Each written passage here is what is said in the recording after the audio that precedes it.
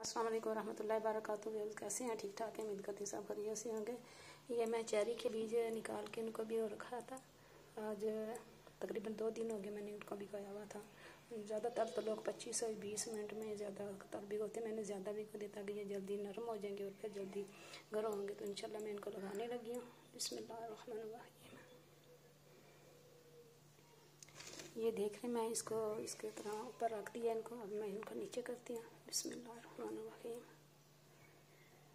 थोड़ा सा नीचे करने आधी इंची ज़्यादा नहीं।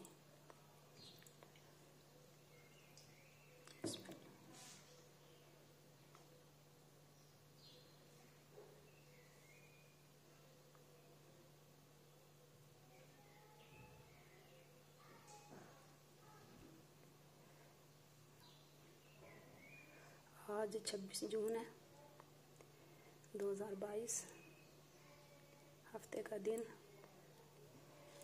तो ग्रो हो जाएँगे इंशाल्लाह जैसे तो फिर मैं आपको इनकी वीडियो शेयर करूँगी।